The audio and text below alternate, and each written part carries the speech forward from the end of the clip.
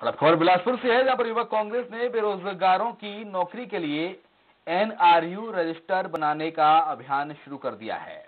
अभियान के माध्यम से बेरोजगारों का नाम रजिस्टर किया जाएगा। सरकार बने एक साल हो गया है, अब युवा कांग्रेस को युवाओं की चिंता हुई है और युवाओं को लुभाने के लिए युवा कांग्रेस ने एनआरयू का अभियान शुरू किया है। युवा कांग्रेस ने बाकायदा कलरफुल पोस्टर छपवाया है, हालाँकि कितने बेरोजगार युवाओं की ज़िंदगी इस पोस्टर की तरह कलरफुल हो पाएगी, ये तो वक्त ही बताएगा। एनआरयू जारी करना चाहते हैं, जिसके माध्यम से बेरोजगारों की संख्या क्या है देश में, ये पता चले मोदी सरकार को। हम लोगों ने उसके लिए टोल फ्री नंबर जारी किया है। उस टोल फ्री नंबर पर कोई भी युवा जो शिक्षित बेरोजगार है, एक मिस्ड कॉल करके अपने आप को रजिस्टर कर सकता है।